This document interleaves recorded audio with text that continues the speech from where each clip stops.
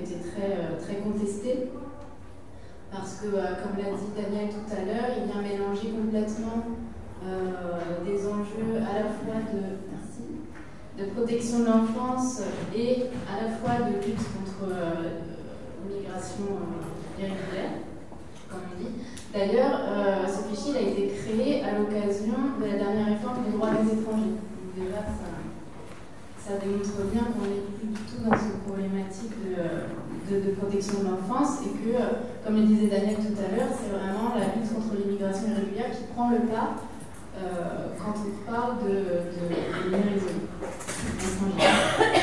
euh, le défenseur des droits, euh, déjà en, en, de cette mesure, avait manifesté son inquiétude dans un communiqué de presse où il indiquait que ce fichier était susceptible de porter atteinte au respect de la vie privée, au droit à l'égalité des personnes se disant mineures et réclamant une protection au titre de l'enfance en danger sur, la procédure d'évaluation telle qu'elle est aujourd'hui, je vais revenir vraiment euh, très rapidement, puisque euh, Daniel a aussi euh, pas mal expliqué juste avant.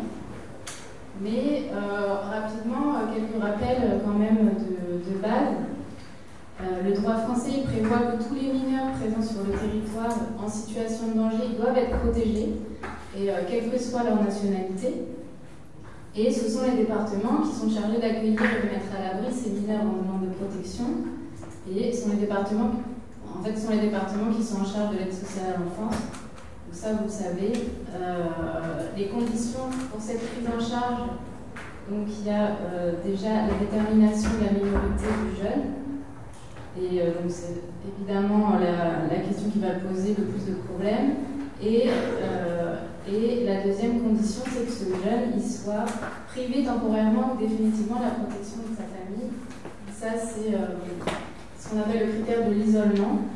Donc cette, euh, cette, euh, cette définition, en fait, mineur privé temporairement ou définitivement de la protection de sa famille, c'est l'expression qui dans la loi pour ne pas parler de mineurs isolés étrangers ou même de mineurs non accompagnés. On va parler de mineurs privés temporairement ou définitivement de la protection de sa famille, euh, qui est euh, une, euh, donc c'est une expression qui est issue de la loi, de la dernière réforme de la protection de l'enfance et qui s'inspire de la Convention internationale des droits de l'enfant, notamment son article 20 qui que tout enfant qui est temporairement ou définitivement privé de son milieu familial ou qui, dans son propre intérêt, ne peut être laissé dans ce milieu, a droit à une protection et une aide spéciale de l'État. Euh, c'est dans, en fait, c'est dans le cadre de cette euh, évaluation que le Code de l'action sociale et des familles euh, prévoit l'obligation pour donc, le président du conseil départemental de mettre en place un accueil provisoire en urgence cet article. Moi, je vous passe les détails sur les articles du Code, mais c'est bien ça, une obligation pour les départements de mettre en place euh, cette, euh, ce recueil provisoire d'urgence, de mettre à l'abri les jeunes qui sont en situation de danger. L'article il précise bien que le, président du conseil départemental doit mettre en place euh, cette mise à l'abri. donc c'est vraiment un droit pour toutes les personnes qui se présentent, qui se déclarent mineures, d'être évaluées est mis à l'abri et, et, dans des conditions évidemment qui doivent être compatibles avec le statut présumé de mineur. Donc en, principe, ça devrait exclure, on voit bien que ce n'est pas le cas euh, en pratique, mais en théorie, ça devrait exclure euh, une mise à l'abri en hôtel euh, avec zéro suivi éducatif. Mais dans la plupart des départements, c'est souvent comme ça pendant cette phase de mise à l'abri. Les modalités d'évaluation sociale, donc une des phases de l'évaluation, mais Daniel l'a déjà expliqué, donc je ne reviens pas dans le détail.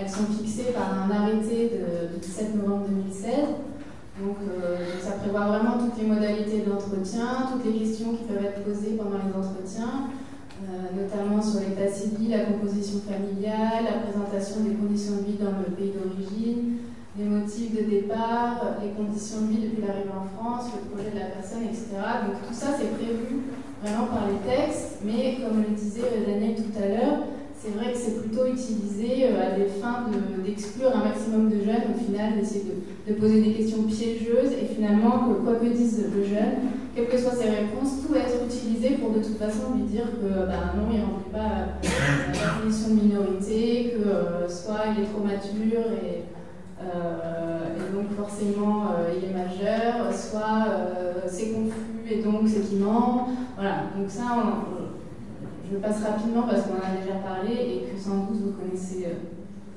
vous avez sans doute vu euh, même des cas. Euh, oui, quand même, à noter que dans, dans l'arrêté, un des articles précise que l'évaluateur veille à confronter l'apparence physique de la personne évaluée, son comportement, sa capacité à être indépendante, autonome, sa capacité à raisonner, à comprendre les questions posées avec l'âge qu'elle a. Donc déjà, les c'est ce qui résulte de la dernière réforme de la protection de l'enfance, déjà dans les textes, c'était déjà pas, euh, on sentait quand même déjà une dégradation depuis, euh, depuis cette dernière réforme, puisque les textes en fait permettent aux évaluateurs d'utiliser l'apparence physique. Euh, voilà, après c'est difficile d'aller contester que l'évaluation a été faite dans des conditions, puisque, voilà, puisque ça peut être, effectivement c'est prévu par les textes. donc en fait, pour en venir rapidement, je suis désolée, je passe rapidement puisque euh, on a déjà parlé, sinon je vais vous répéter les choses. Mais ce fichier, donc le, fichier appui à l'évaluation de la minorité, le fichier AEM, on va s'habituer hein, puisqu'il va entrer en vigueur. Enfin, en fait, il est déjà euh, le dispositif, est déjà en place, mais pour l'instant, il est dans une phase d'expérimentation dans trois départements, dans le Bas-Rhin, l'Essonne et l'Isère. Donc en fait, euh, euh, donc il n'est pas applicable pour l'instant dans tous les départements, mais a priori, euh, la mise en œuvre sur le territoire devait arriver au 1er avril, c'est la date qui avait, avait, été annoncée. Finalement, il n'a pas été mis en place dans tous les départements, mais on n'a pas vraiment de nouvelles, mais voilà, c'est en cours de, préparation.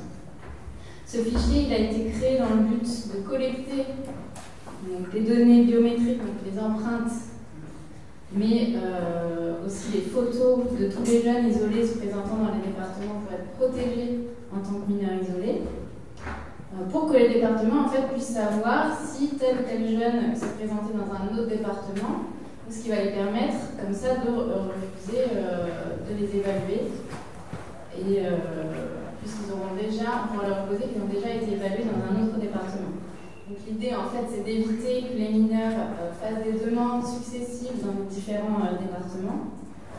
Euh, donc déjà là-dessus, l'idée de base elle est déjà contestable, puisqu'on sait très bien que quand on va dans un autre département, c'est qu'a priori dans le premier département ça s'est mal passé et que finalement c'est assez légitime d'aller voir dans un autre département si en fait on va mieux respecter ses droits et ça ne nous semble pas. Euh, euh, la réponse qui a été apportée de créer ce fichier, elle ne nous semble pas forcément la bonne, le sens où ce qui aurait pu aussi être mis en place, c'est de dire, ben, comme les conditions d'évaluation sont euh, pas du tout homogènes, en fait, on va essayer de, faire en sorte que les conditions d'évaluation dans les départements où ça se passe mal, donc où les conditions sont réalisées dans de mauvaises conditions, mais enfin que les jeunes sont, sont parfois maltraités, comme on l'a vu dans certaines évaluations, Et, et donc de dire, d'obliger ces départements en fait à respecter les droits des jeunes et à faire les, les, évaluations dans de bonnes conditions. Ça a du sens puisqu'en en fait on peut se dire que si les conditions d'évaluation étaient homogènes, elles étaient faites de la même façon dans tous les départements, il n'y aurait, pas d'intérêt pour les jeunes d'aller chercher une protection ailleurs. Mais la réponse, euh, la réponse euh, à, ce problème, à, la réponse au problème des départements, en fait, parce que c'est les départements qui se plaignent d'avoir trop de jeunes à évaluer, la réponse a été de créer un fichier euh, des, données euh, biométriques des mineurs. Euh, L'autre problème, c'est qu'on sait, enfin, enfin pour.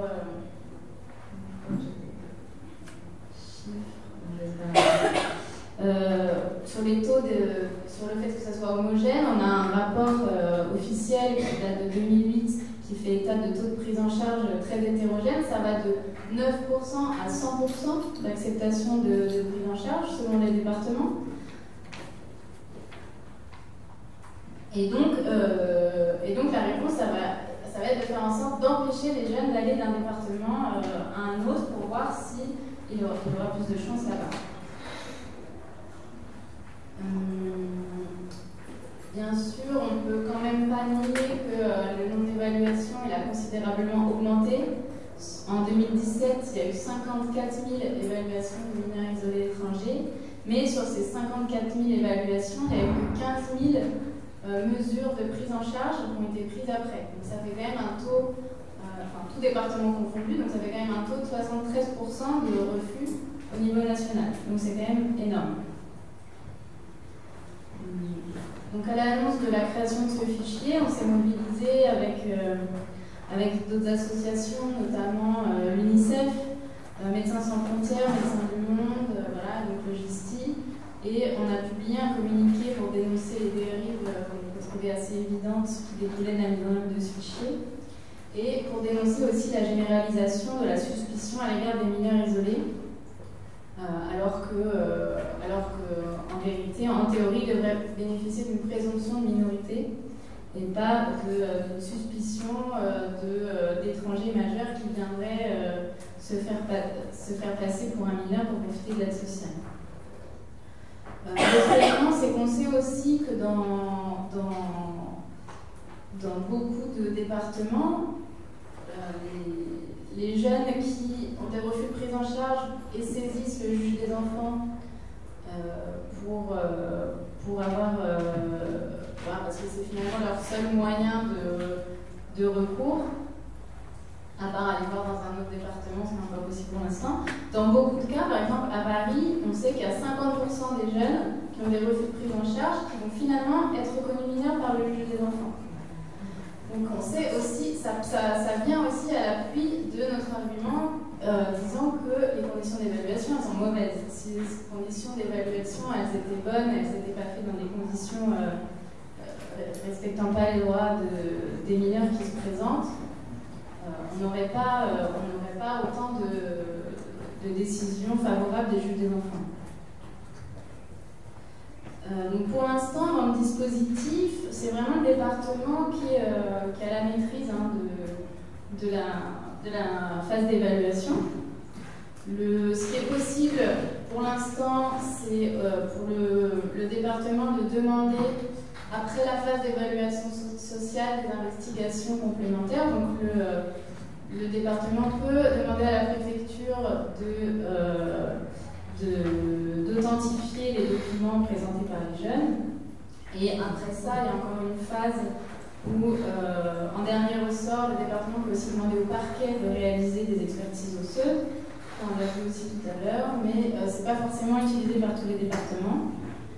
En tout cas, euh, voilà, ça c'est le seul lien qu'il y avait pour l'instant à la préfecture, avec la préfecture dans la phase d'évaluation.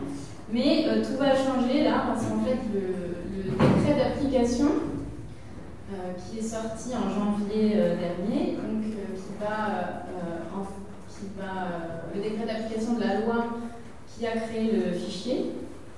Il va encore plus loin que ce que prévoyait la loi, donc créer un fichier national avec les empreintes et les photos des jeunes pour pouvoir vérifier s'ils ont déjà été évalués dans un autre département. Là, ça va encore plus loin, puisque là, la procédure d'évaluation va être totalement bouleversée et elle va inclure la préfecture totalement dans la phase d'évaluation, puisque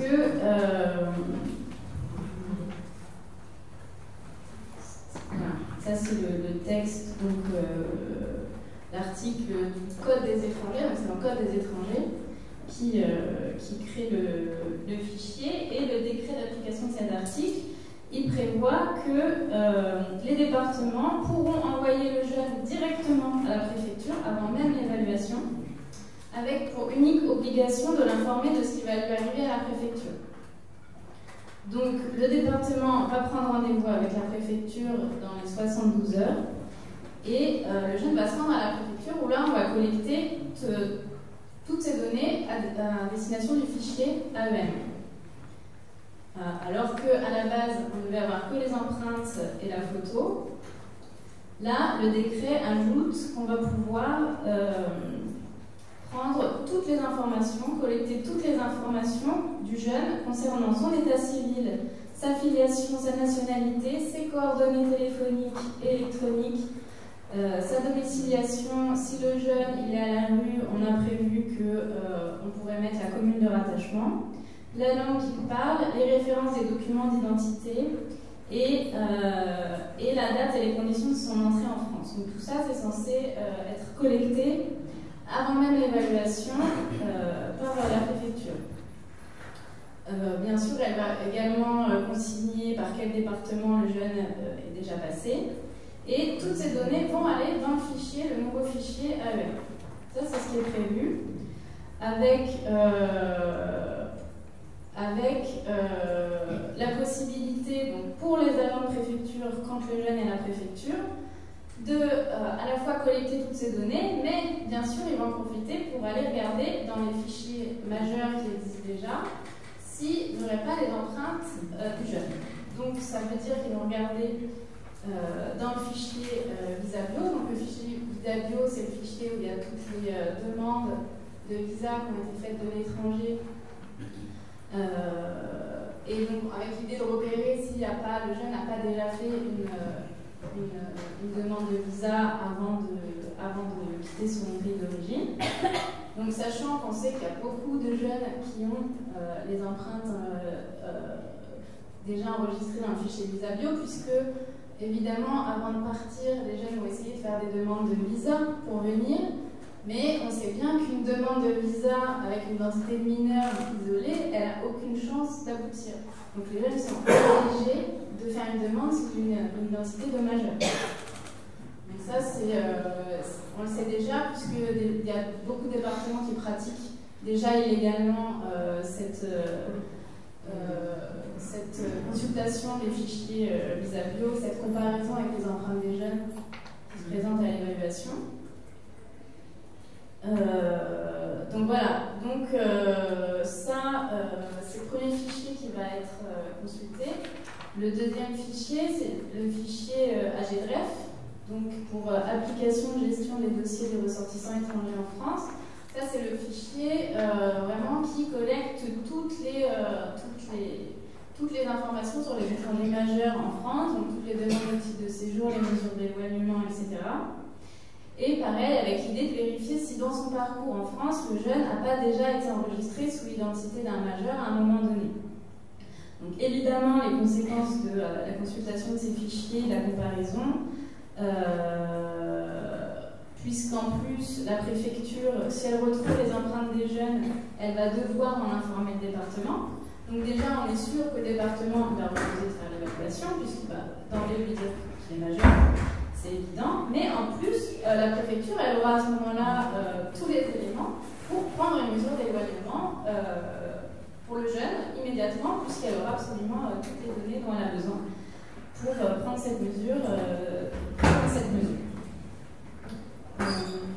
si le jeune n'est pas dans le fichier AEM et que quand on consulte à GDREF, on retrouve ces empreintes euh, au nom d'un majeur.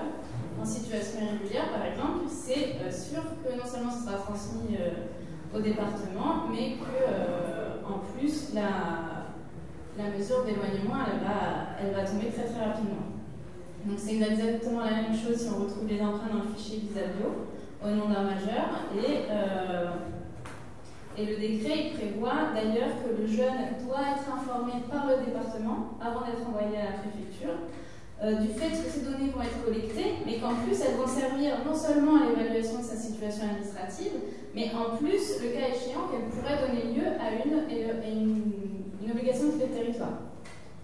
Donc comme ça, c'est euh, euh, dit d'emblée. Donc c'est sûr que évidemment l'effet dissuasif là il est énorme puisque quand on va dire un jeune, bah, tu peux toujours aller à la préfecture mais si on trouve tes empreintes, bah, non seulement tu ne seras pas évalué, mais en plus tu auras tout de suite euh, une obligation de quitter le territoire. Là, on se rend bien compte que, euh, que l'effet dissuasif, qui est à la base de la création de ce fichier, euh, avant tout, elle va être très efficace. En fait, en fait, on a déjà des retours sur ce qui se passe dans l'Essonne, qui est un des départements en test. Et apparemment, sur les rendez-vous qui ont été donnés, plus de la moitié des jeunes ne se sont pas présentés à la préfecture. Donc ça, c'était évident qu'il y aurait euh, cette conséquence, euh, cette conséquence, euh, la conséquence de cette mesure. Et une deuxième remarque, c'est que oui, alors on nous dit qu'on prévoit, que le décret prévoit qu'il faut recueillir le consentement du jeune pour la collecte de ces données. Donc, ce que, voilà, Super, donc c'est exactement comme pour, comme pour les tests SE.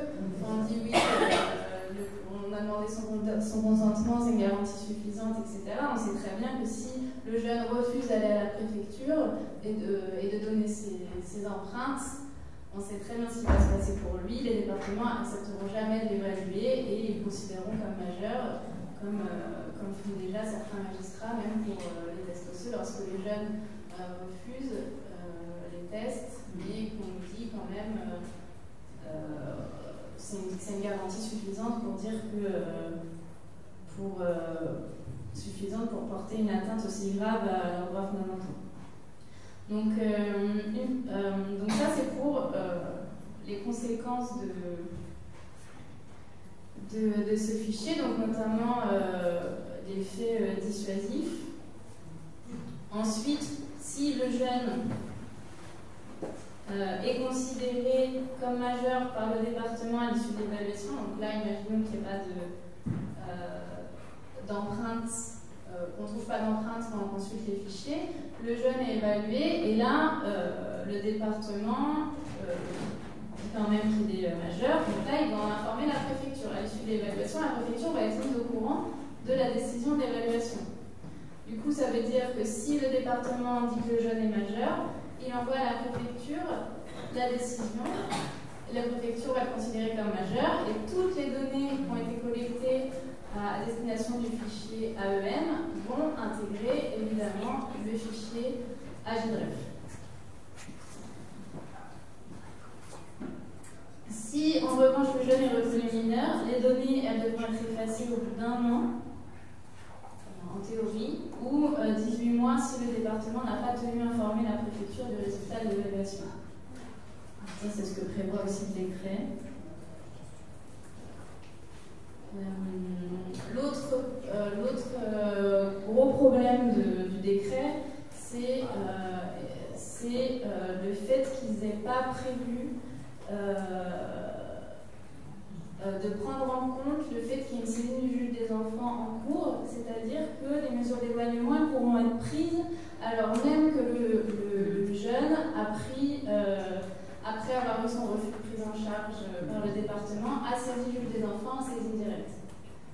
Donc ça, c'est aussi ce que, euh, ce que nos associations, un des arguments les plus, les plus importants dans la bataille contre ce décret, qu'en fait, cette, euh, là, le décret, donc, il est entré en vigueur, hein, et c'est toujours en effet dans la phase d'expérimentation, mais le décret, il est, enfin, il est, déjà, euh, il est déjà en vigueur, et, euh, et donc, ce qu'on a fait avec les autres associations que je mentionnais tout à l'heure, c'est un recours contre ce décret. Ça, c'est un recours contre le décret, c'est devant le Conseil d'État. Et on attend une audience prochainement, mais on a déjà perdu un peu la première étape qui était de demander la suspension du décret dans l'attente de cette audience qui ne va pas arriver tout de suite. Mais ça, c'est pour contester le décret, donc le décret qui prévoit toute cette procédure avec la préfecture. Mais à l'occasion de recours contre le décret, on a aussi demandé au Conseil d'État de transmettre question prioritaire de constitutionnalité au Conseil constitutionnel. Pour contester cette fois le principe même du fichier, donc l'article euh, du CESEDA qui met en, œuvre euh, le fichier pour contester vraiment la conformité de l'existence de ce fichier, de la collecte de ces données de personnes mineures euh, à la Constitution et donc à tous les principes fondamentaux que la Constitution reconnaît, notamment euh l'intérêt supérieur de l'enfant, le respect de la vie privée, euh, sur ce point, notamment, euh, le défenseur des droits indiquait euh, dans son communiqué de presse, dont je vous parlais tout à l'heure, que l'enregistrement des empreintes digitales d'une photographie des jeunes se disant mineurs non accompagnés formalise le fait qu'ils sont considérés d'abord comme des étrangers fraudeurs plutôt comme, comme de potentiels enfants en danger. C'est aussi exactement ce qu'on disait tout à l'heure sur le fait que l'aspect voilà, étranger encore dessus sur l'aspect de la protection d'enfance. Donc pour le, recours, euh, on en est euh, euh, là, on attend en fait qu'il y ait une audience devant le Conseil constitutionnel parce que le Conseil d'État a accepté de transmettre cette question prioritaire de constitutionnalité. Donc on va voir ce que ça donne, mais voilà, pour l'instant pour l'instant, on en est là. Et bien sûr, bon, bah, vous serez au courant de, des suites de ces recours. Euh, qu'est-ce qu'on a d'autre comme moyen à part ce contentieux-là? Euh, L'idée, c'est aussi d'essayer de, euh, d'en parler un maximum aux travailleurs sociaux qui vont devoir participer à cette procédure d'évaluation, d'envoyer les jeunes à la préfecture, etc. Donc ça, c'est un levier aussi qu'on peut mobiliser, essayer de les, de les informer sur sur euh, les possibilités qu'ils ont, eux, de, lutter contre ça en ne participant pas, en refusant de participer à la mise en œuvre de ce fichage.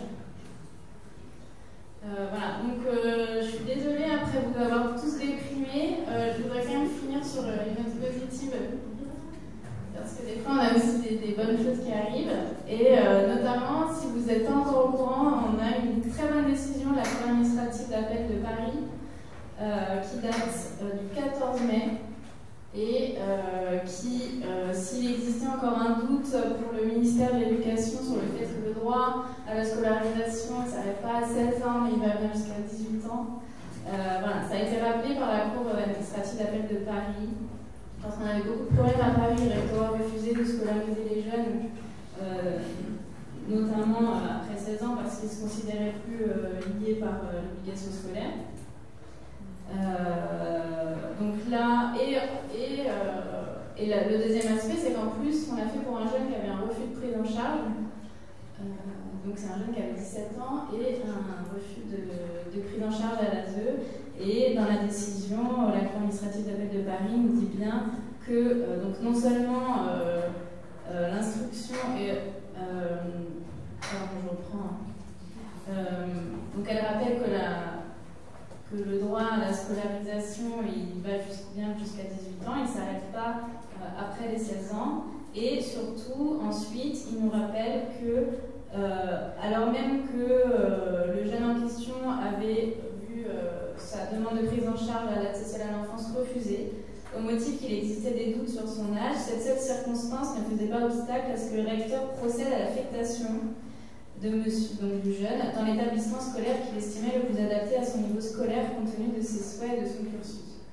Donc voilà, donc là, euh, condamnation euh, des pratiques du rectorat à Paris, qui n'est pas, euh, pas du tout isolée, puisqu'il y a beaucoup de, de, rectorats qui ne se considèrent pas du tout euh, liées par cette obligation de polarisation, en fait, euh, voilà, euh, si vous trouverez facilement cette décision, mais elle est pas mal à emmener avec vous quand vous allez faire des démarches pour la scolarisation. Vous la trouverez sur le site du Justi notamment assez facilement. Et voilà, elle date du 14 mai 2019. Et voilà, donc ça c'est pour essayer de, de un peu le moral, parce que pour tout le reste, c'est utile. Et euh, si vous avez des questions sur la mise en œuvre du fichier. Euh.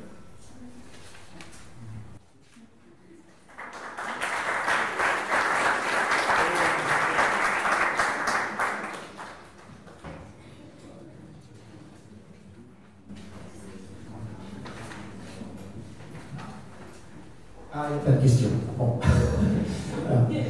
On va laisser. Alors, Daniel m'a dit j'ai une question? directe, très précise. Est-ce que, Solène, merci pour la présentation, euh, est-ce qu'un moyen de contournement de, cette nouvelle euh, législation ne pourrait pas être euh, faire des saisines directes du juge des enfants? Est-ce que le juge des enfants va être obligé aussi de. Le problème, c'est que ça ne va pas être suspensif. En fait, pour l'éloignement, pour intervenir, alors même que le juge des enfants a été saisi. Donc on, ça passait par la, par la Oui, oui, c'est ça. Ça passait par la hiérarchie. Bah, c'est comme, euh, comme d'habitude, il faut compter sur, le, sur les chiffres. ça, ils peuvent tout faire après, hein, c'est bien aussi. Le contentieux, peut-être, concernant euh, l'utilisation euh, à côté de l'écran, euh, pourra éventuellement suspendre. Oui, enfin, bon, ça va être comme. Euh, on va aller euh, les voir en CRA, essayer de faire les recours, sauf qu'on n'aura aucun élément pour contester les recours, quoi. Euh, pour contester les mesures. Déjà, il y a pas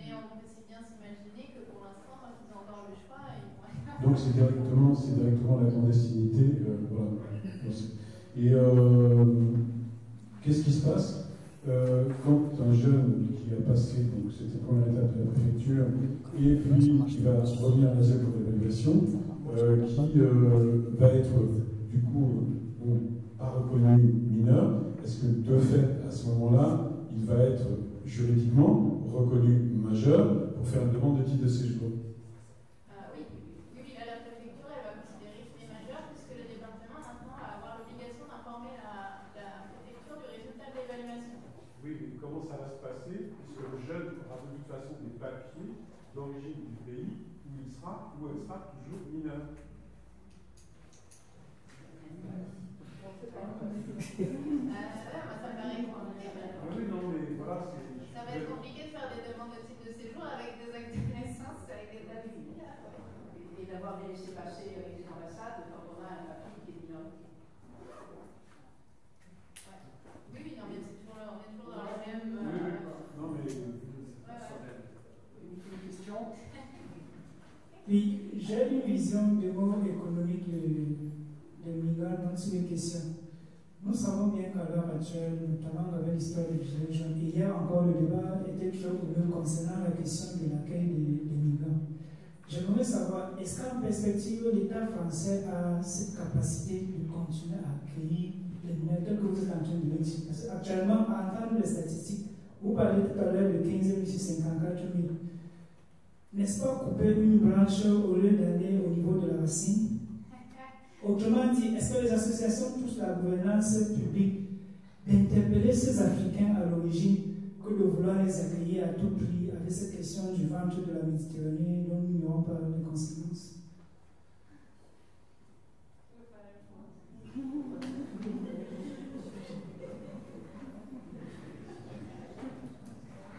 Posez exacte question, monsieur.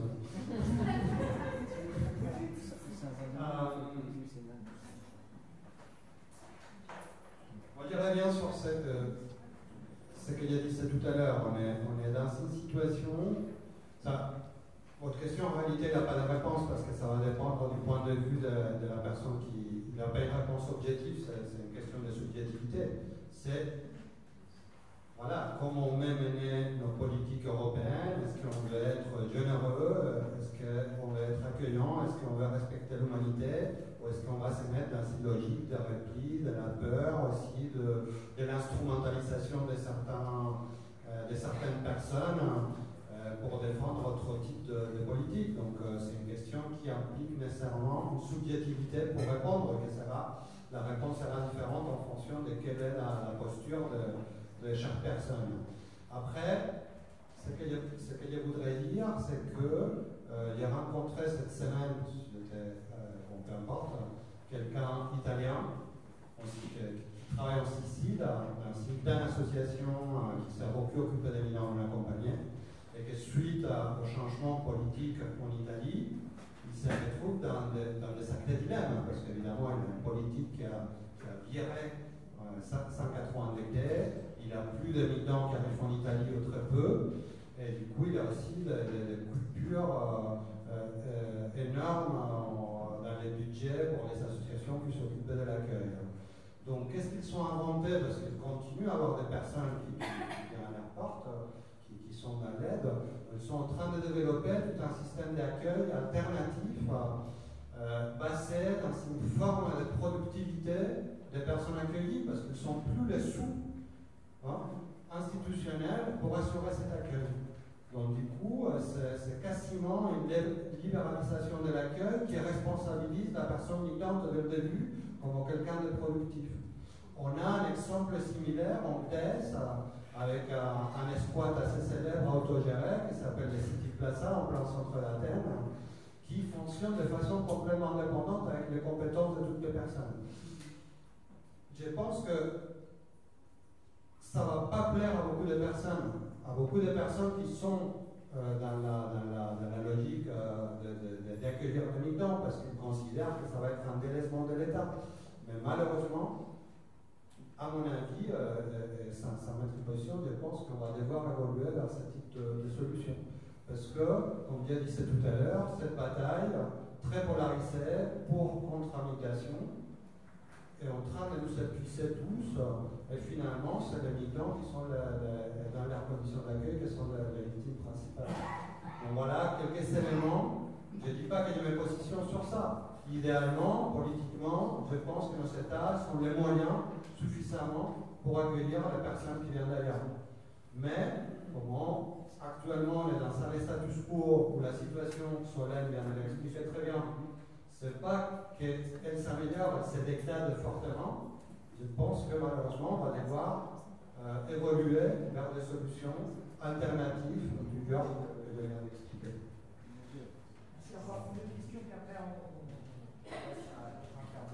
C'était juste pour revenir tout à l'heure euh, sur l'histoire de saisir le juge des enfants directement, puisque le texte de loi qui n'est pas, euh, qui n'est pas rejeté dit que mineur qui se prétend mineur et en danger peut saisir tout de suite avec l'aide d'un avocat gratuit euh, le juge des enfants de l'endroit où il se trouve. Donc ici, enfin à Angoulême, on a fait, on n'était pas nombreux, mais on a fait pour les gamins qui arrivaient, non pas une saisie de la ZEU, mais systématiquement une saisie par l'intermédiaire du seul avocat qui s'occupe des étrangers en Angoulême, euh, on a fait les dossiers de demande euh, d'assistance éducative au juge des enfants. Alors ça veut dire quand même que ces gamins-là fallait les loger.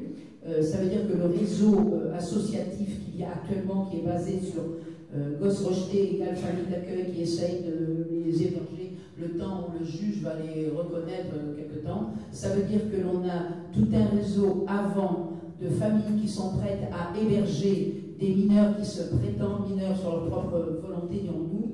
Nous, on essaye en tant qu'associatif de voir si les papiers sont OK, le temps que le juge les convoque et euh, décline une minorité, ce qui est le cas à 100% dans les recours chez nous, et on a eu cette chance-là, parce qu'on fait un boulot euh, suffisamment étayé de l'histoire, de la confiance, enfin, je, je crois que le juge, quand il a à juger ces gamins-là, il a dans les mains, indépendamment des papiers qui ont été, euh, s'il faut le jugement euh, avec des copies intégrales et machin, on a la totalité.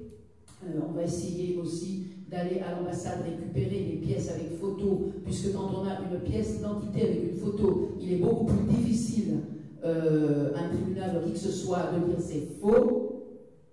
Donc c'est toute une espèce de...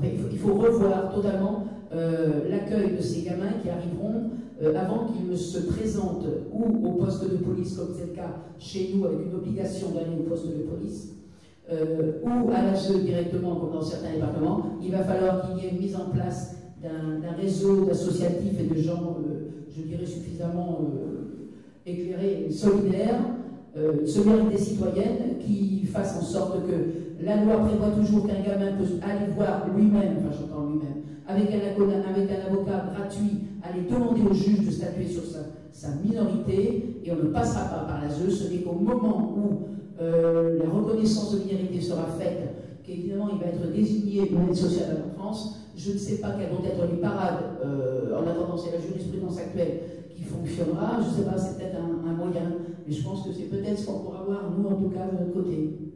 Non, mais c'est sûr qu'il n'y a, aucune euh, obligation de passer d'abord par l'évaluation du département avant de saisir le juge d'enfant. C'est juste que. Euh, bonjour, euh, je m'appelle Solène Lucie et je travaille au GISTI. Le GISTI, on a déjà dit, c'est groupe d'information et de soutien des immigrés. C'est une association qui milite pour la défense des droits des personnes étrangères. Et on fait euh, notamment partie du collectif national de Jugy pour justice euh, pour les jeunes isolés euh, étrangers, qui essaie de rassembler un peu tous les, tous les collectifs ou, syndicats qui militent aussi pour le droit des mineurs isolés et aussi des, des jeunes majeurs.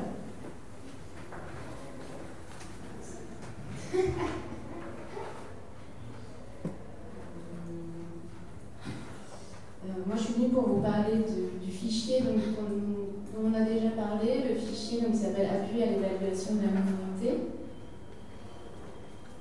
C'est euh, un fichier qui a été, euh, je pense que vous en avez tous entendu parler, hein, on entend pas mal parler, ça va euh, venir bouleverser complètement la procédure d'évaluation des mineurs isolés étrangers.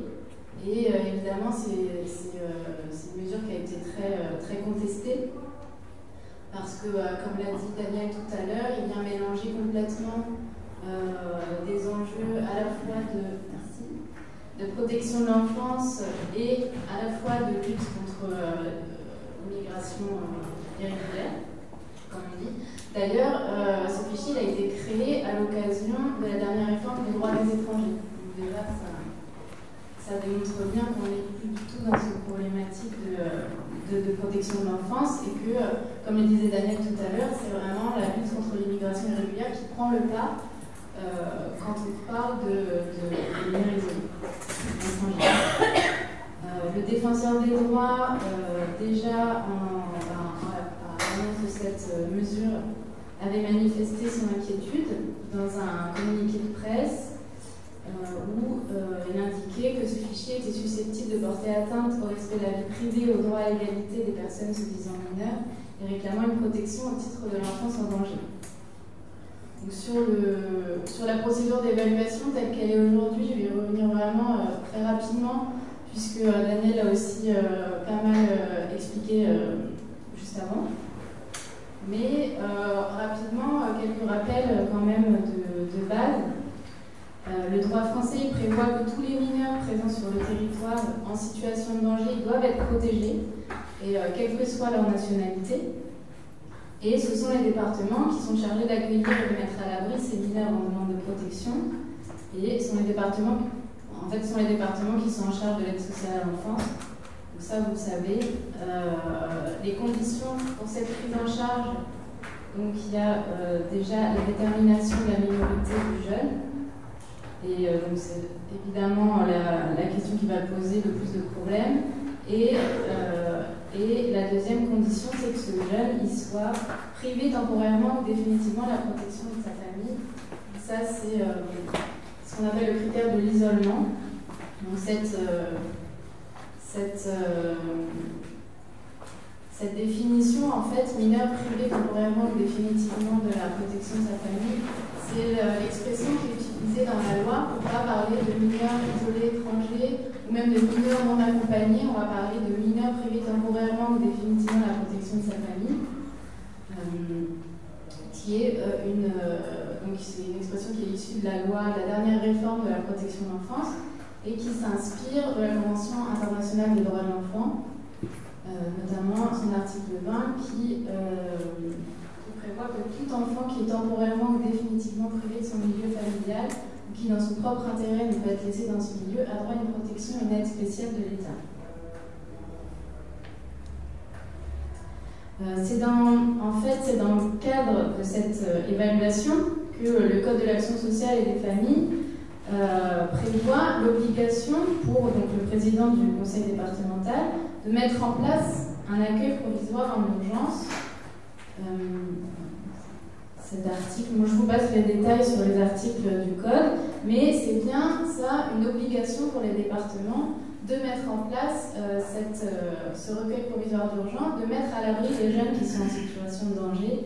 L'article il précise bien que le, président du conseil départemental doit mettre en place euh, cette mise à l'abri.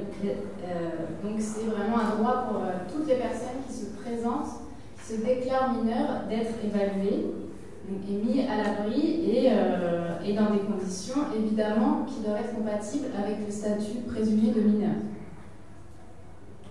Donc en, principe, ça devrait exclure, on voit bien que ce n'est pas le cas euh, en pratique, mais en théorie, ça devrait exclure euh, une mise à l'abri en hôtel avec zéro suivi éducatif. Mais dans la plupart des départements, c'est souvent comme ça pendant cette phase de mise à l'abri. Les modalités d'évaluation sociale, donc une des phases de l'évaluation, mais Daniel l'a déjà euh, expliqué, donc je ne reviens pas dans le détail, euh, elles sont fixées par un arrêté de, 17 novembre 2016.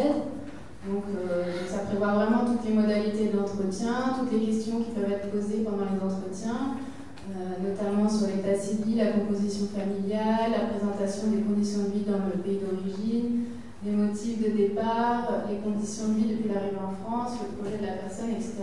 Donc tout ça, c'est prévu vraiment par les textes, mais comme le disait Daniel tout à l'heure, c'est vrai que c'est plutôt utilisé euh, à des fins d'exclure un maximum de jeunes, au final, d'essayer de, poser des questions piégeuses, et finalement, quoi que dise le jeune, quelles que soient ses réponses, tout va être utilisé pour de toute façon lui dire que bah, non, il ne remplit pas la condition de minorité, que euh, soit il est trop mature et, donc forcément il est majeur, soit c'est confus et donc c'est qui ment. Voilà, donc ça, je passe rapidement parce qu'on en a déjà parlé et que sans doute vous connaissez, vous avez sans doute vu quand même des cas.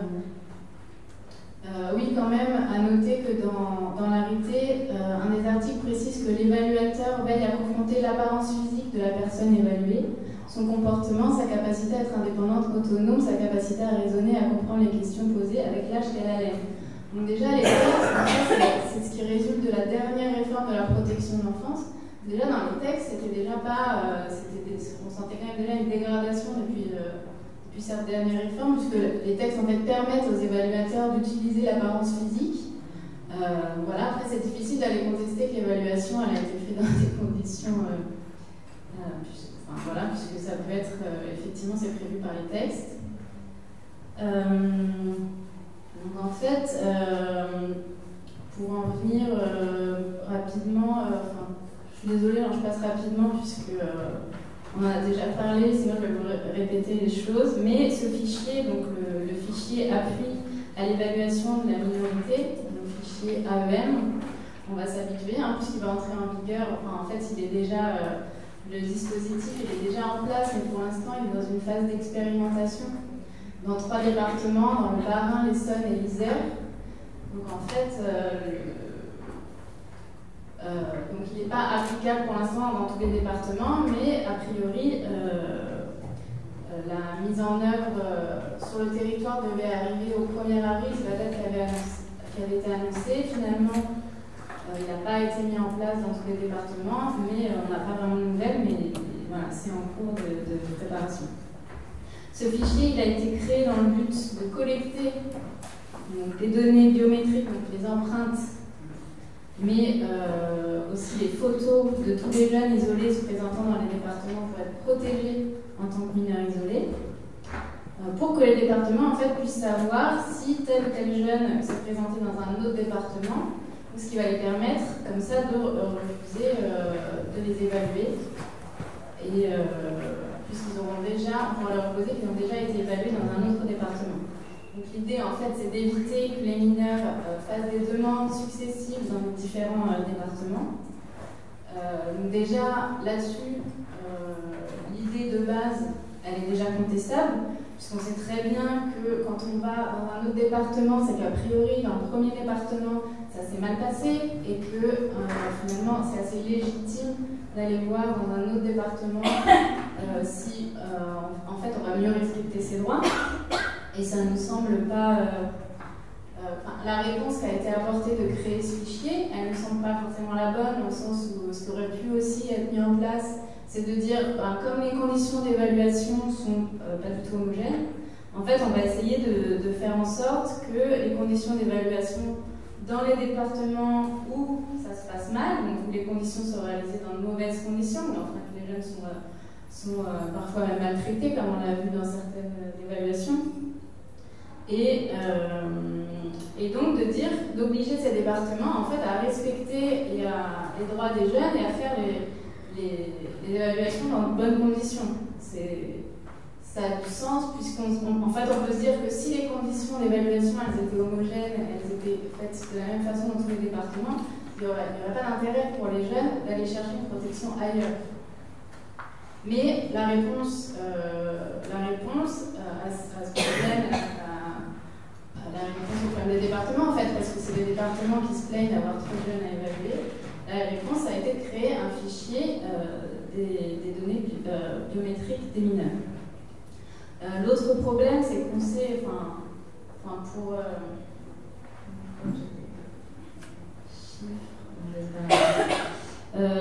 sur les taux de, sur le fait que ça soit homogène, on a un rapport officiel qui date de 2008 qui fait état de taux de prise en charge très hétérogène. Ça va de 9% à 100% d'acceptation de, prise en charge selon les départements. Et donc, euh, et donc la réponse, ça va, ça va être de faire en sorte d'empêcher les jeunes d'aller d'un département euh, à un autre pour voir s'il il aura plus de chance là-bas. Hum, bien sûr, on peut quand même pas nier considérablement augmenté. En 2017, il y a eu 54 000 évaluations de mineurs isolés étrangers, mais sur ces 54 000 évaluations, il n'y a eu que 15 000 euh, mesures de prise en charge qui ont été prises après. Donc ça fait quand même un taux, euh, enfin tout département confondu, donc ça fait quand même un taux de 73% de refus au niveau national. Donc c'est quand même énorme.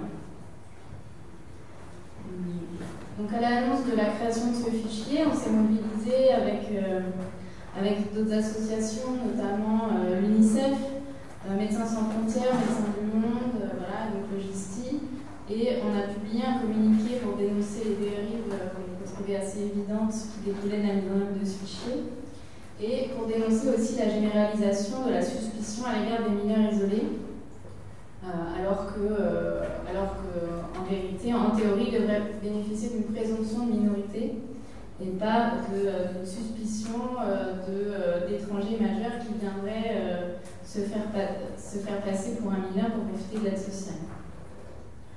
Élément, c'est qu'on sait aussi que dans, dans, dans beaucoup de départements,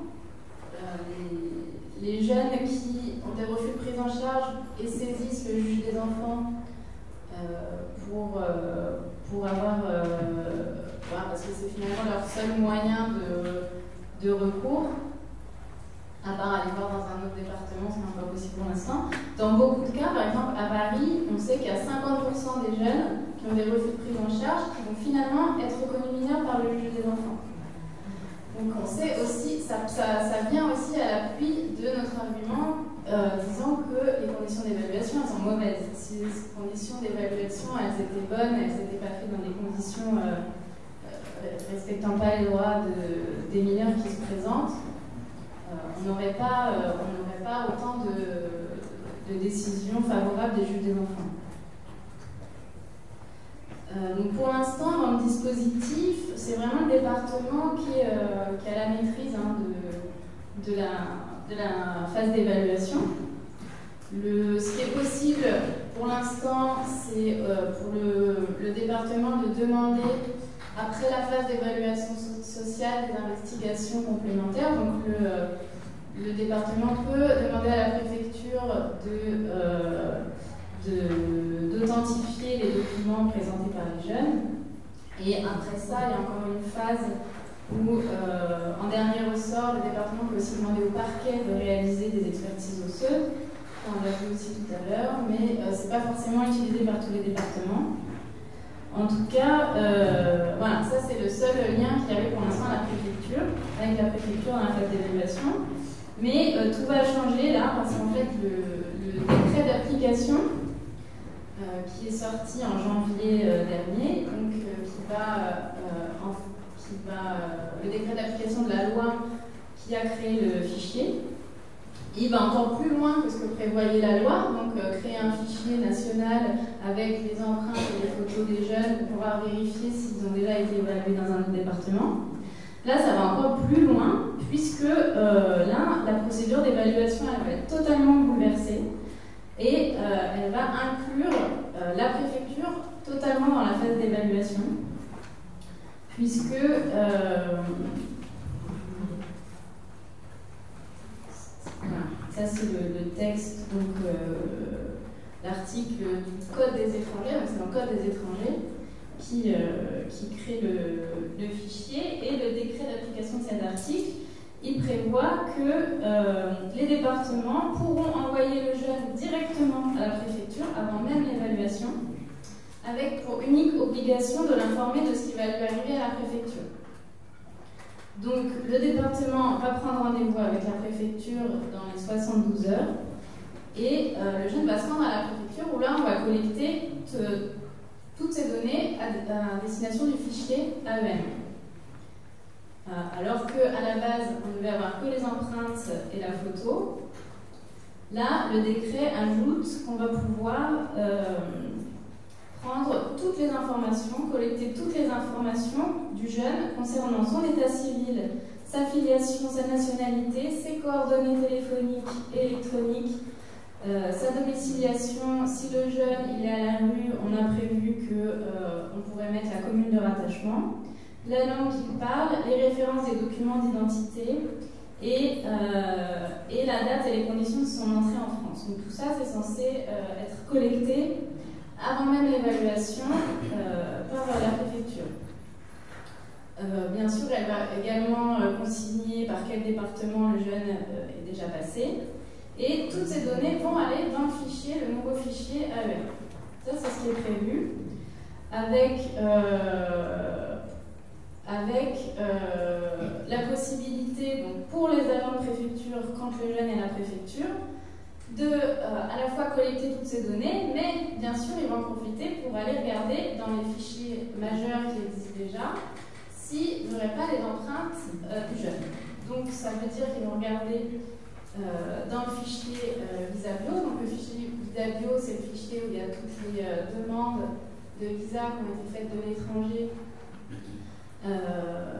et donc avec l'idée de repérer s'il n'y a pas, le jeune n'a pas déjà fait une, une, demande de visa avant de, quitter son pays d'origine. Donc sachant qu'on sait qu'il y a beaucoup de jeunes qui ont les empreintes déjà enregistrées dans le fichier Visabio, puisque Évidemment, avant de partir, les jeunes vont essayer de faire des demandes de visa pour venir, mais on sait bien qu'une demande de visa avec une identité de mineur isolée, elle n'a aucune chance d'aboutir. Donc les jeunes sont obligés de faire une demande sous une, identité de majeur. Donc ça, c'est, euh, on le sait déjà, puisqu'il y a beaucoup de départements qui pratiquent déjà illégalement euh, cette... Euh, cette euh, consultation des fichiers euh, Visabio, cette comparaison avec les empreintes des jeunes qui se présentent à l'évaluation.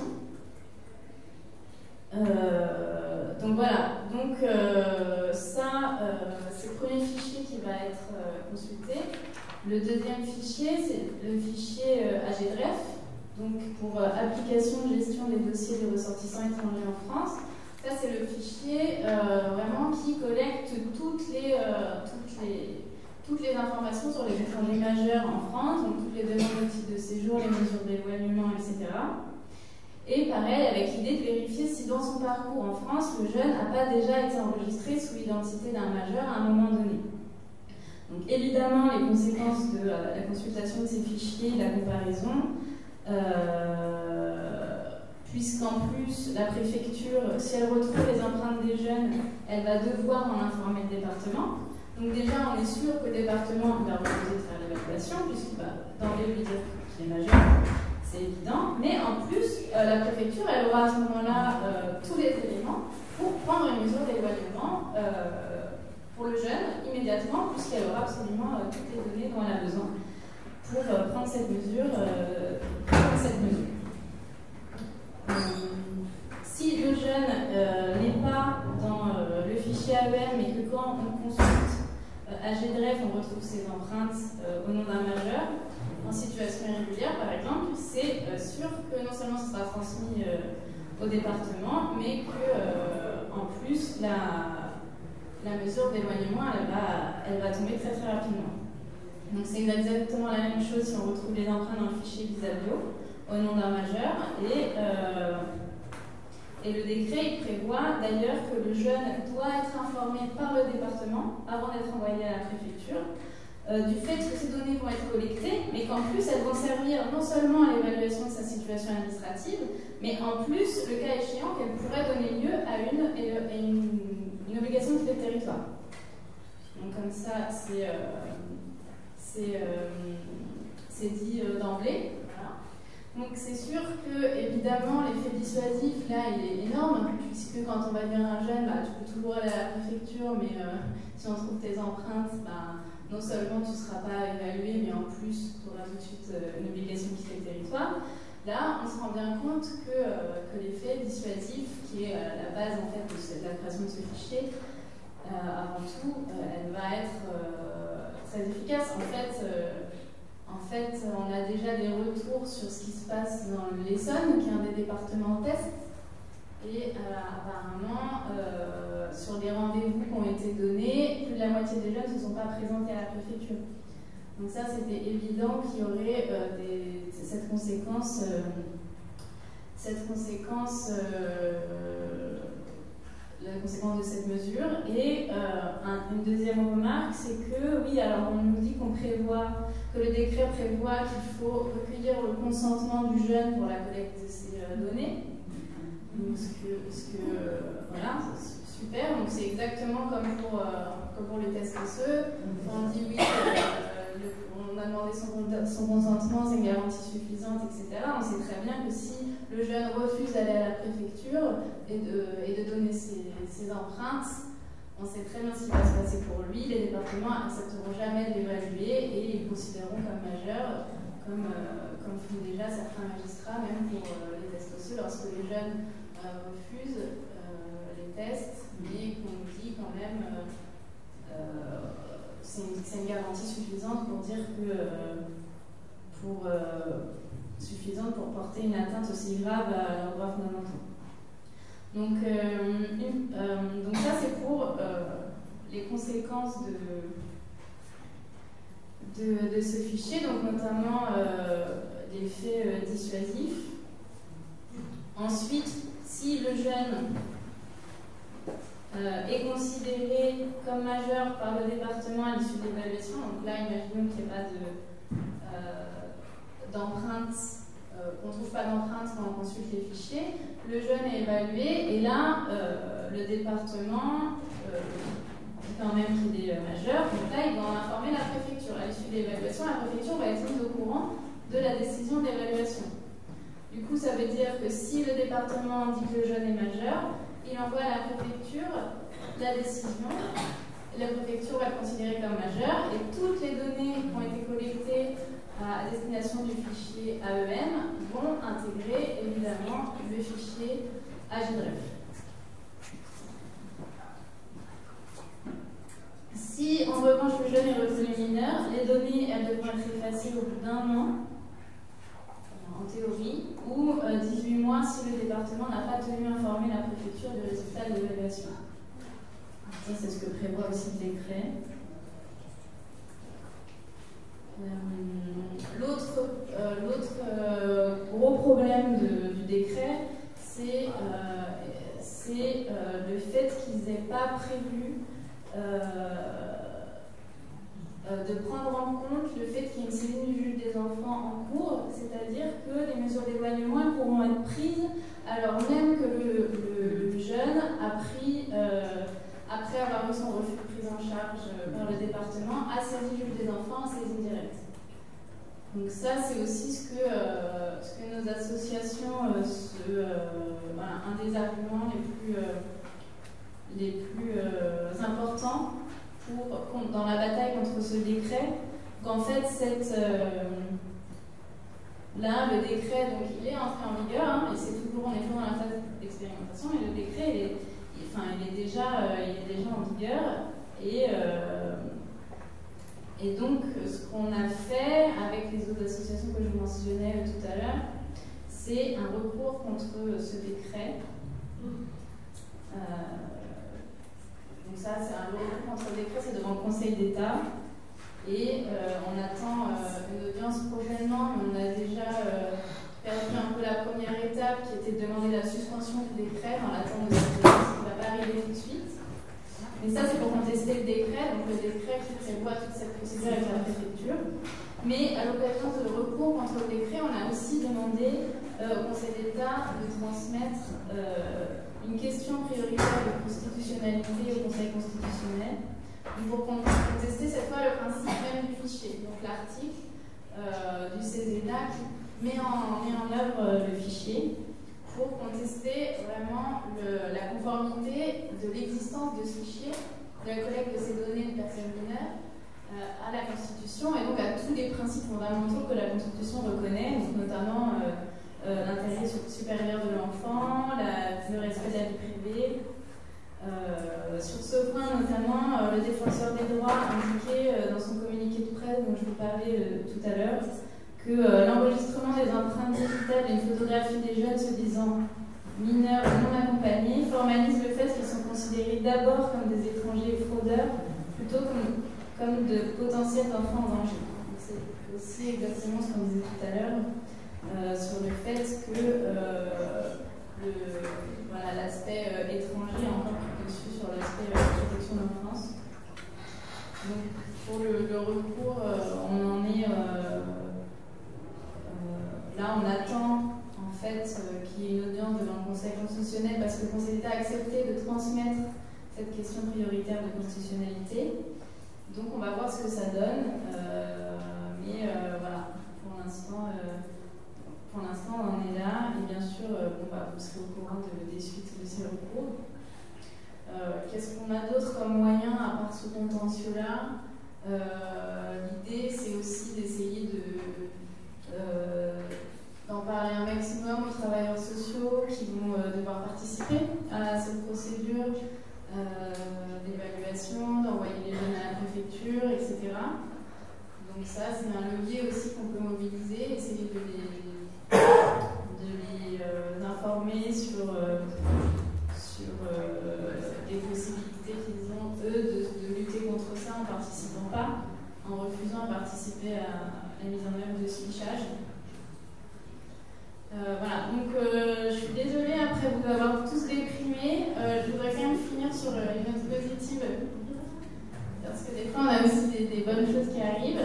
Et euh, notamment, si vous n'êtes pas encore au courant, on a une très bonne décision de la Cour administrative d'appel de Paris euh, qui date euh, du 14 mai et qui, s'il existait encore un doute pour le ministère de l'Éducation sur le fait que le droit à la scolarisation ne s'arrête pas à 16 ans, mais il va bien jusqu'à 18 ans, voilà, ça a été rappelé par la Cour administrative d'appel de Paris parce qu'on avait beaucoup de problèmes à Paris, le rectorat refusé de scolariser les jeunes, euh, notamment euh, après 16 ans, parce qu'ils se considéraient plus euh, liés par l'obligation scolaire.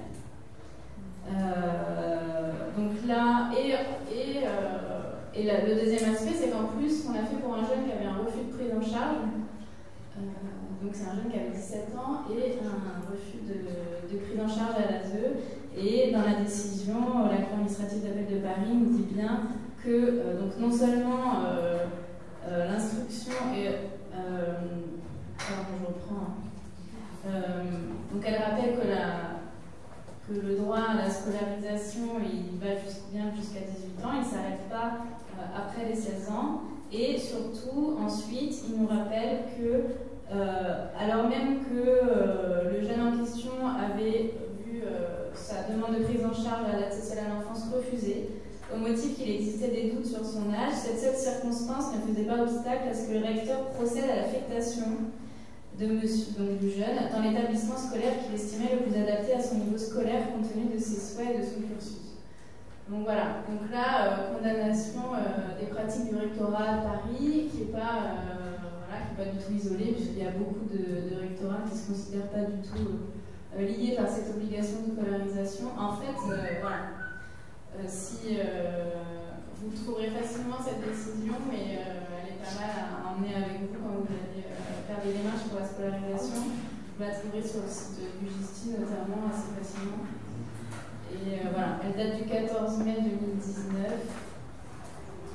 Et voilà, donc ça c'est essayer de, de remonter un peu le moral, parce que pour tout le reste, c'est un peu, euh, un peu difficile. Et euh, si vous avez des questions mise en œuvre du, fichier. Bonjour, euh, je m'appelle Solène Lucie et je travaille au GISTI. Le on a déjà dit, c'est groupe d'information et de soutien des immigrés. Donc, c'est une association qui milite pour la défense des droits des personnes étrangères. Et on fait euh, notamment partie du collectif national de Jugy pour justice euh, pour les jeunes isolés euh, étrangers, qui essaie de rassembler un peu tous les, collectifs ou, syndicats qui militent aussi pour le droit des mineurs isolés et aussi des jeunes majeurs. Euh, moi,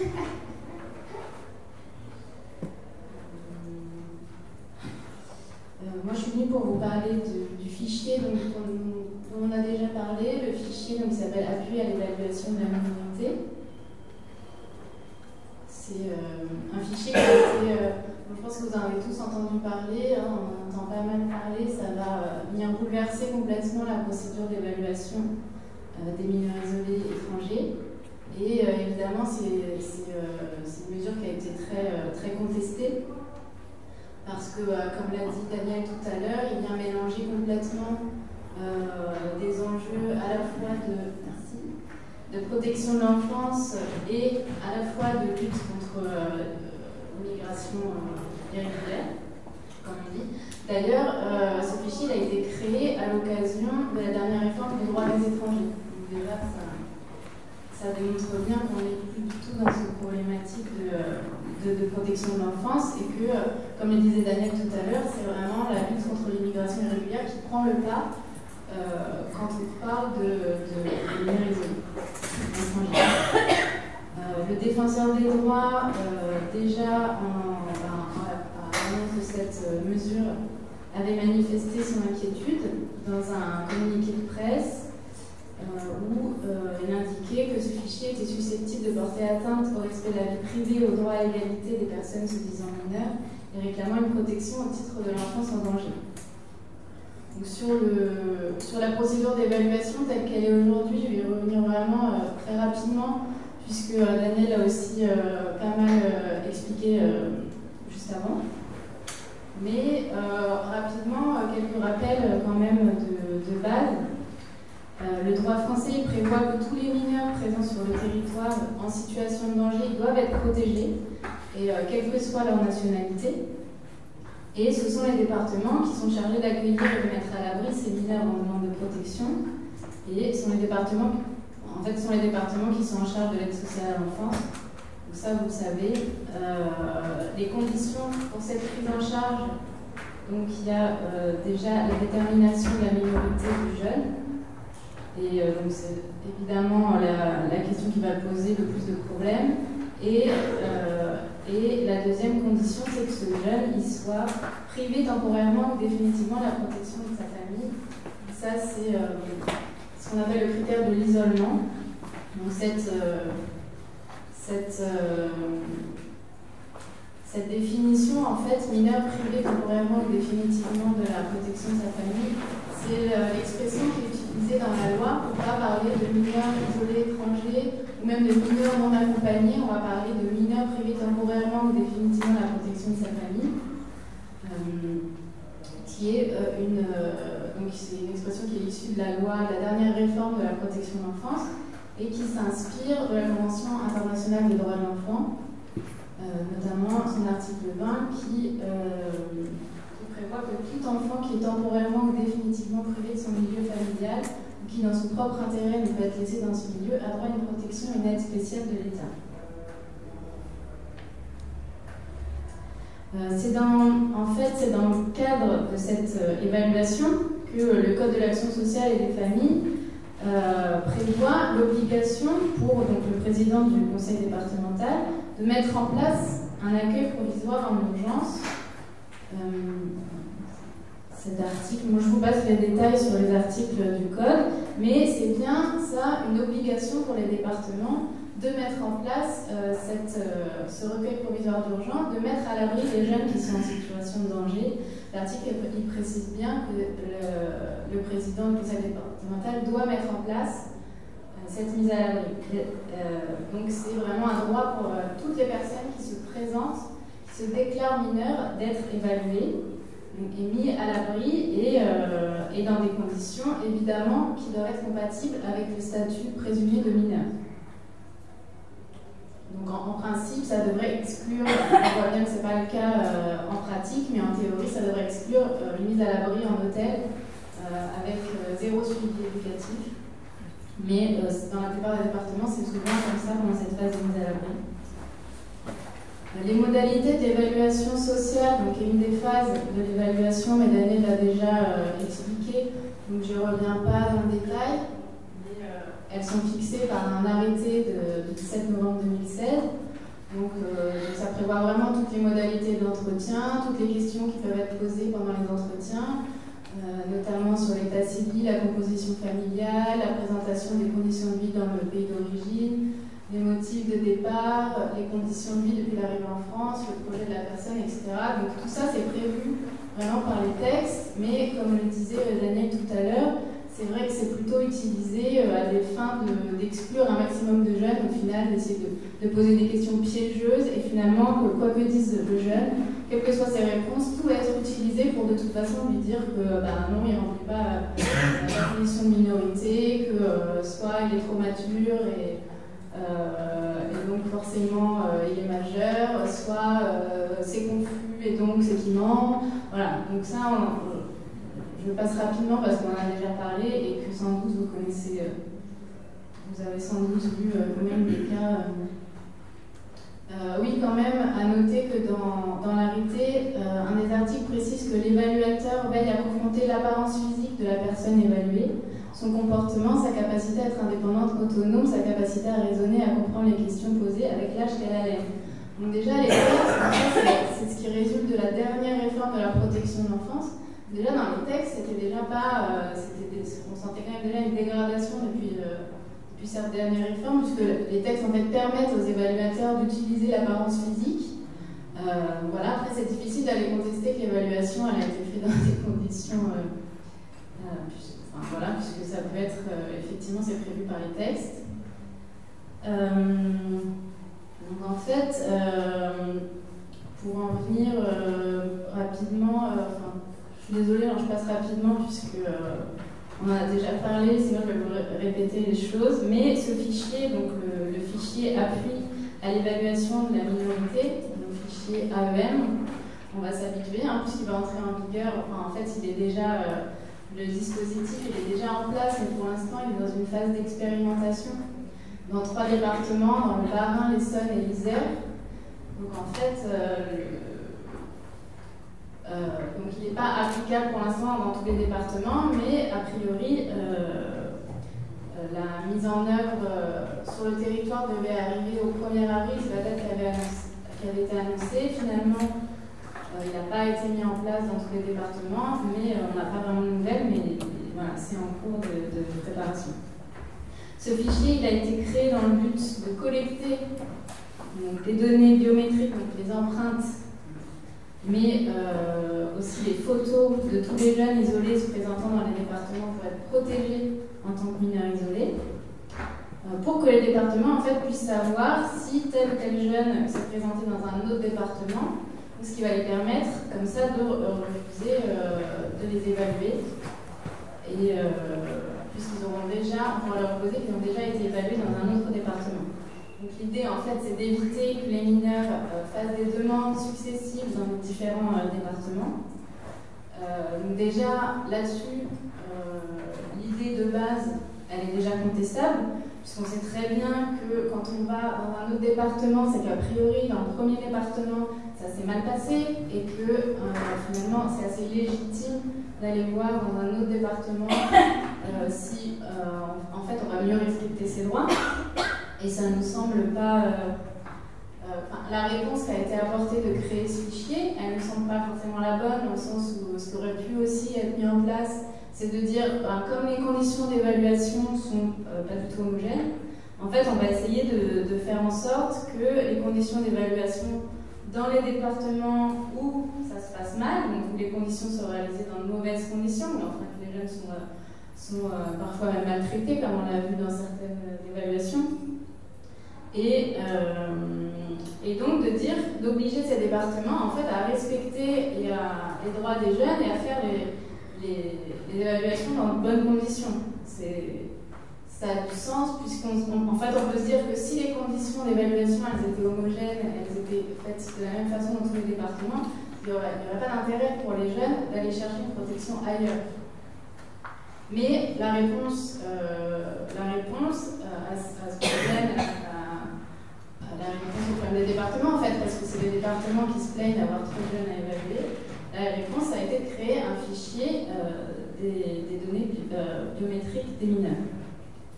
Euh, l'autre problème, c'est qu'on sait, enfin, enfin pour.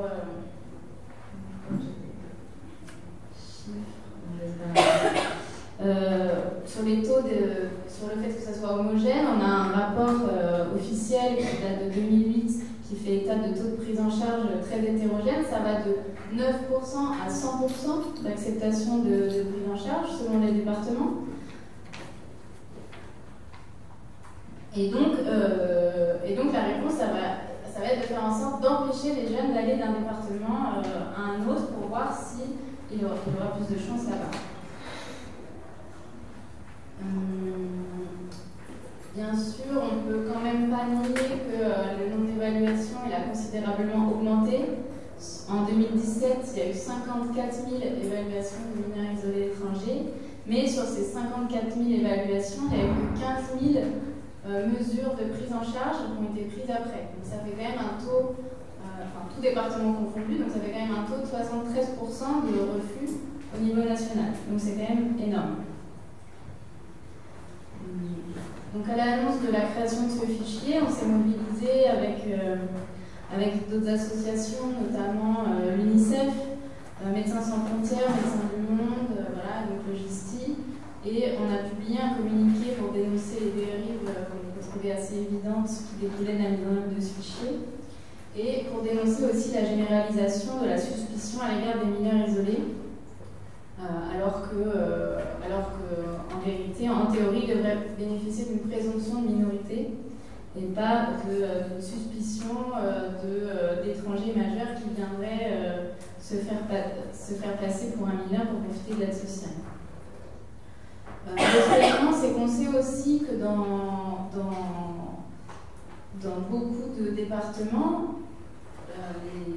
les, les jeunes qui ont des refus de prise en charge et saisissent le juge des enfants pour, pour avoir. euh, parce que c'est finalement leur seul moyen de, de recours, à part aller voir dans un autre département, ce n'est pas possible pour l'instant. Dans beaucoup de cas, par exemple à Paris, on sait qu'il y a 50% des jeunes qui ont des refus de prise en charge qui vont finalement être reconnus mineurs par le juge des enfants. Donc on sait aussi, ça, ça, ça vient aussi à l'appui de notre argument euh, disant que les conditions d'évaluation elles sont mauvaises. Si les conditions d'évaluation elles étaient bonnes, elles n'étaient pas faites dans des conditions euh, euh, respectant pas les droits de, des mineurs qui se présentent, on n'aurait pas, on pas autant de, décisions favorables des juges des enfants. Donc pour l'instant, dans le dispositif, c'est vraiment le département qui, a la maîtrise hein, de, la, de la phase d'évaluation. Ce qui est possible pour l'instant, c'est euh, pour le, département de demander, après la phase d'évaluation so- sociale, des investigations complémentaires. Donc le, département peut demander à la préfecture euh, de- d'authentifier les documents présentés par les jeunes. Et après ça, il y a encore une phase où, euh, en dernier ressort, le département peut aussi demander au parquet de réaliser des expertises osseuses. On l'a vu aussi tout à l'heure, mais euh, ce n'est pas forcément utilisé par tous les départements. En tout cas, euh, voilà, ça c'est le seul lien qu'il y avait pour l'instant à la préfecture, avec la préfecture dans la phase d'évaluation. Mais tout va changer là, parce qu'en fait, le, décret d'application qui est sorti en janvier dernier, donc qui va, en- euh, le décret d'application de la loi qui a créé le fichier. Il va encore plus loin que ce que prévoyait la loi, donc euh, créer un fichier national avec les empreintes et les photos des jeunes pour pouvoir vérifier s'ils ont déjà été évalués dans un autre département.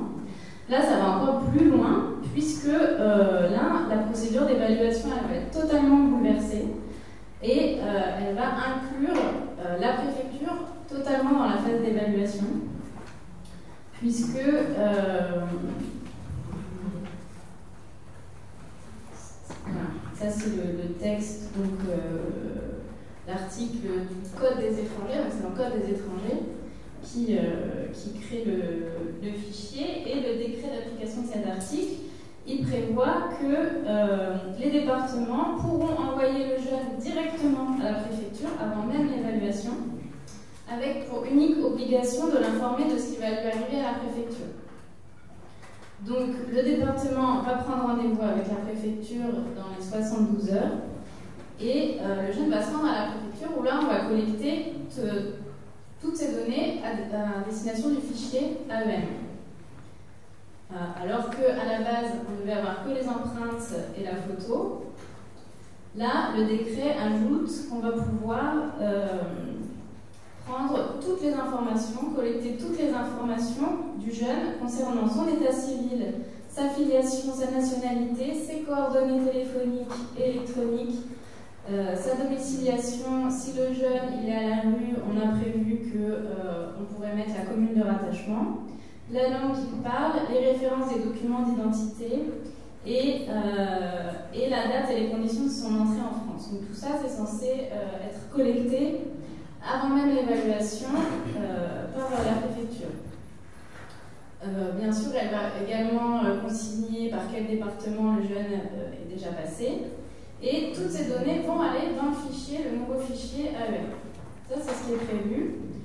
Avec, euh, avec euh, la possibilité, donc, pour les agents de préfecture, quand le jeune est à la préfecture, de euh, à la fois collecter toutes ces données, mais bien sûr, ils vont en profiter pour aller regarder dans les fichiers majeurs qui existent déjà s'il n'y aurait pas les empreintes du jeune.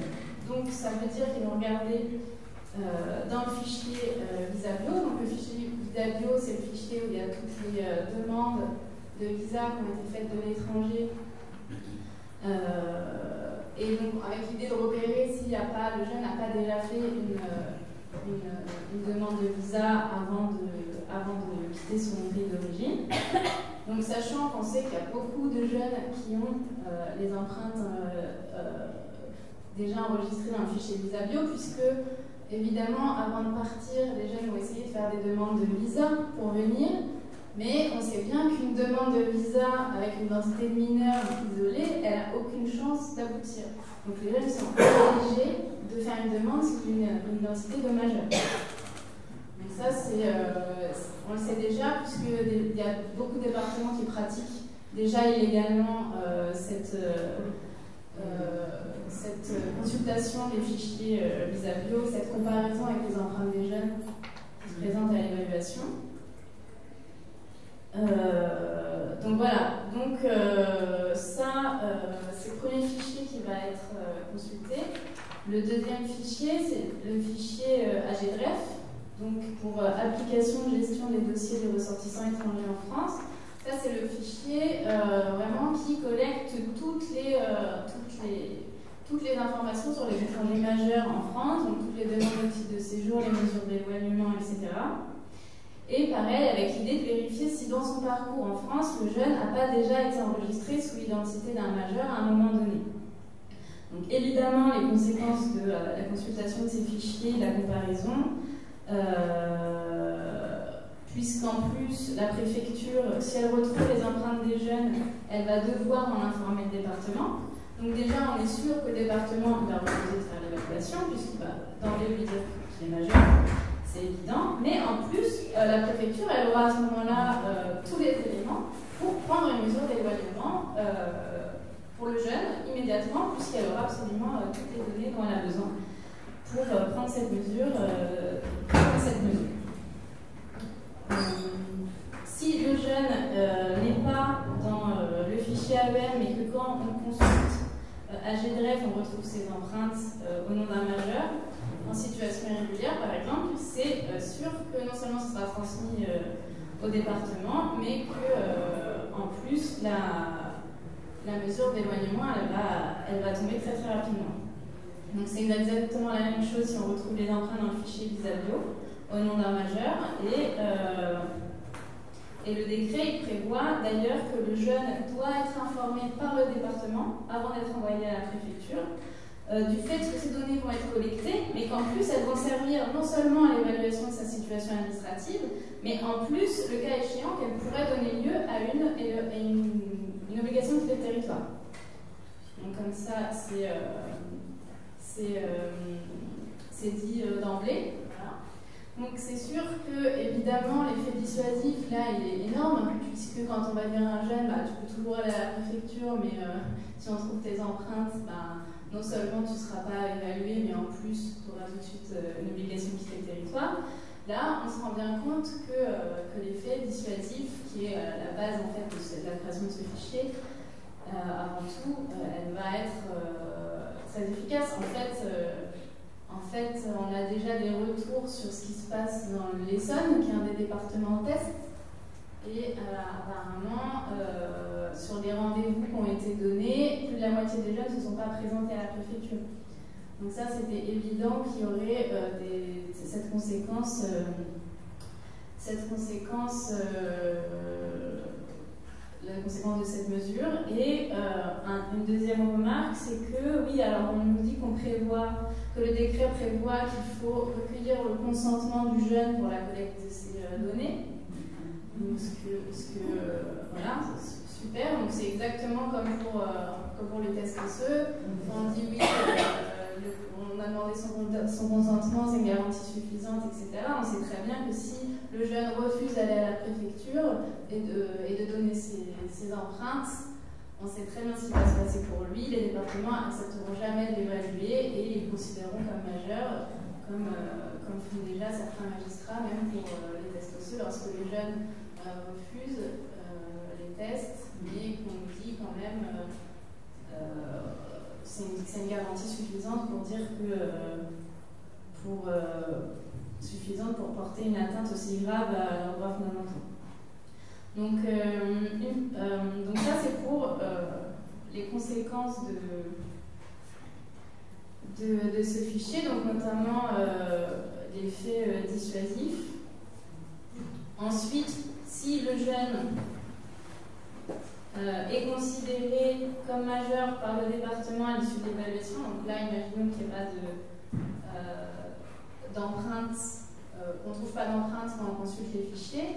Le jeune est évalué et là, euh, le département dit quand même qu'il est majeur. Donc là, il va en informer la préfecture. À l'issue de l'évaluation, la préfecture va être mise au courant de la décision d'évaluation.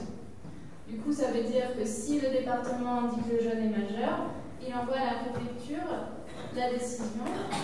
La préfecture va le considérer comme majeur et toutes les données qui ont été collectées à destination du fichier AEM vont intégrer évidemment le fichier AGDREF.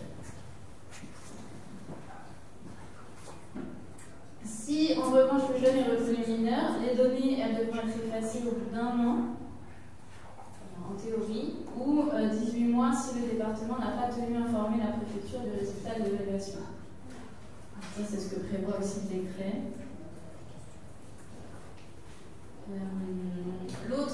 Euh, l'autre euh, gros problème du décret, c'est le fait qu'ils n'aient pas prévu euh,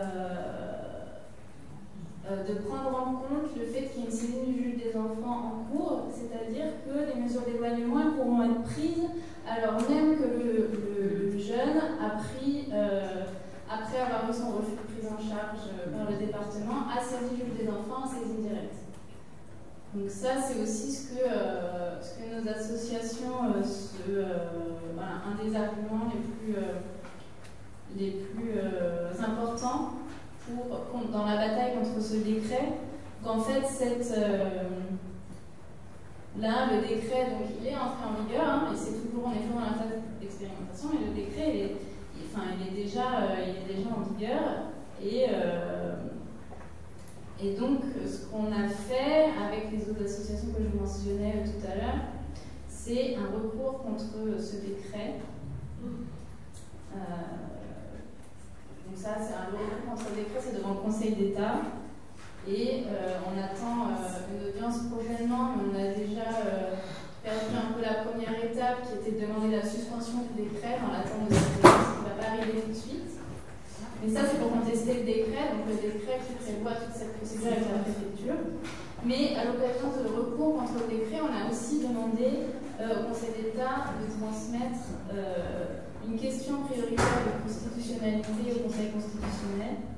pour contester cette fois le principe même du fichier, donc l'article euh, du CESEDA qui met en, œuvre euh, le fichier pour contester vraiment la conformité de l'existence de ce fichier, de la collecte de ces données de personnes mineures euh, à la Constitution et donc à tous les principes fondamentaux que la Constitution reconnaît, notamment euh, l'intérêt supérieur de l'enfant, le respect de la vie privée.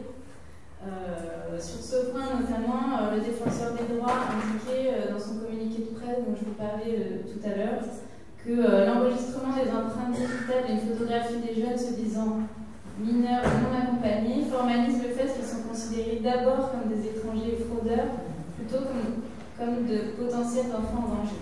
C'est aussi exactement ce qu'on disait tout à l'heure euh, sur le fait que euh, l'aspect euh, étranger encore dessus sur l'aspect protection d'enfance. Donc pour le, le recours, on en est là, on attend en fait qu'il y ait une audience devant le Conseil constitutionnel parce que le Conseil d'État a accepté de transmettre cette question prioritaire de constitutionnalité. Donc on va voir ce que ça donne, mais voilà, pour l'instant. Pour l'instant, on en est là, et bien sûr, euh, bon, bah, vous serez au courant de, des suites de ces recours. Euh, Qu'est-ce qu'on a d'autre comme moyen à part ce contentieux-là euh, L'idée, c'est aussi d'essayer de, euh, d'en parler un maximum aux travailleurs sociaux qui vont euh, devoir participer à cette procédure d'évaluation, d'envoyer les jeunes à la préfecture, etc. Donc ça, c'est un levier aussi qu'on peut mobiliser, essayer de les euh, informer sur, euh, sur euh, les possibilités qu'ils ont, eux, de, lutter contre ça en participant pas, en refusant de participer à, la mise en œuvre de ce fichage. voilà, donc je suis désolée après vous avoir tous déprimé. je voudrais quand même finir sur une note positive parce que des fois, on a aussi des, bonnes choses qui arrivent. Et euh, notamment, si vous n'êtes pas encore au courant, on a une très bonne décision de la Cour administrative d'appel de Paris euh, qui date euh, du 14 mai et qui, s'il existait encore un doute pour le ministère de l'Éducation sur le fait que le droit à la scolarisation ne s'arrête pas à 16 ans, mais il va venir jusqu'à 18 ans, voilà, ça a été rappelé par la Cour administrative d'appel de Paris.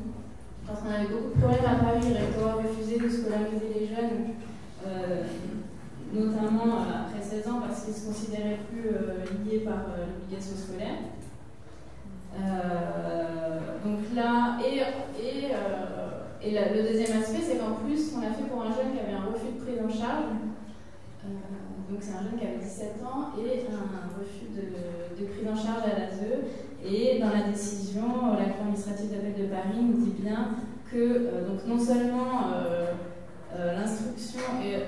pardon, je reprends. Hein. donc elle rappelle que, le droit à la scolarisation, il va bien jusqu'à 18 ans, il ne s'arrête pas après les 16 ans.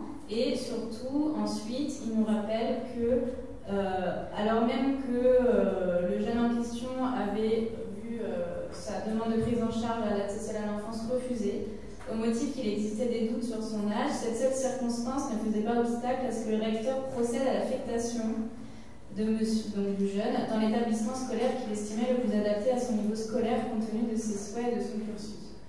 Donc voilà, donc là, euh, condamnation euh, des pratiques du rectorat à Paris, qui n'est pas, voilà, pas du tout isolée, puisqu'il y a beaucoup de, de rectorats qui ne se considèrent pas du tout euh, liées par cette obligation de polarisation. En fait, euh, voilà, euh, si vous trouverez facilement cette décision, mais elle est pas mal à emmener avec vous quand vous allez faire des démarches pour la scolarisation. Vous la trouverez sur le site du Justine notamment assez facilement. Et voilà, elle date du 14 mai 2019. Et voilà, donc ça c'est pour essayer de, de remonter un peu le moral, parce que pour tout le reste c'est un peu, un peu difficile. Et euh, si vous Sender.